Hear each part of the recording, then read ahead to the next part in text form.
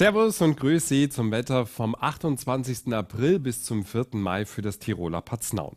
Wir sind in den letzten Atemzügen der Wintersaison 2014-2015 und nach einer grandiosen Saison rockt das Tiroler Paznaun am 1. Mai-Wochenende mit einem fulminanten Saisonabschluss. Und wir blicken zurück und sehen einen fulminanten Blick auf die Livecam Eat Alp mit strahlendem Sonnenschein und immer noch genügend und ausreichend Schnee. Und in den Hochlagen wird es am Dienstag noch einiges an Schnee geben.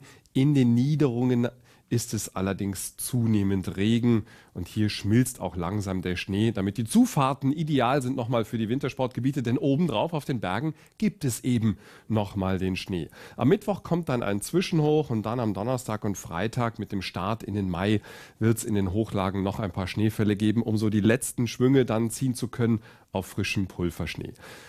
Kommen wir zu etwas anderem. Und zwar zum Seilbahnmuseum. Das befindet sich neben dem Eingang zum Dorftunnel direkt in der Ortsmitte. Der Aufstieg Ischgls zu einem der erfolgreichsten Skigebiete Österreichs ist untrennbar mit der Seilbahn verknüpft. In diesem Museum können Sie eine Zeitreise in die Pionierzeit der Silvretta Seilbahn unternehmen. Zu sehen sind etliche Objekte und Gerätschaften aus der touristischen Pionierzeit, wie zum Beispiel eine Gondel aus den 1960er Jahren. Das können wir uns heute kaum noch vorstellen. Das Museum hat jeden Mittwoch zwischen 16 und 19 Uhr geöffnet. Und geöffnet hat auch noch das Wetter. Die Wetterküche hier mit einem recht freundlichen Samstag mit nur wenigen Schauern. Am Sonntag werden die Schauer wieder zahlreicher. Und am Montag wechselt dann die Luftmasse von kühl auf warm. Und das bedeutet, vom Mittelmeer her strömt feuchtwarme Luft zu uns. Und damit geht dann pünktlich die Wintersaison zu Ende. Und das Wetter spielt mit. Und das weltbekannte Top of the Mountain Konzert zum Saisonabschluss rockt am 2. Mai. 30 Seconds to Mars. Auf 2300 Meter Höhe präsentiert die Rockband aus Los Angeles Lieder ihres aktuellen Albums. Um 13 Uhr heißt es für die Wintersportler Skistöcke gegen Luftgitarren tauschen und wenn die Gitarren Riffs und Hits wie City of Angels durch die Silvretta Arena hallen.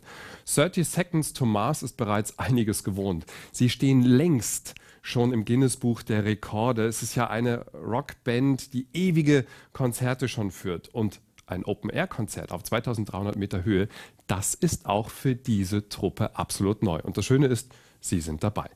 Und mit diesem wirklich grandiosen Saisonabschluss endet dann auch die Wintersaison für dieses Jahr. Genießen Sie die letzten Schwünge im Schnee, rocken Sie auf dem Konzert und freuen Sie sich auf die bald kommende Sommersaison mit vielen Attraktionen im Tiroler Paznaun. Wir sehen uns.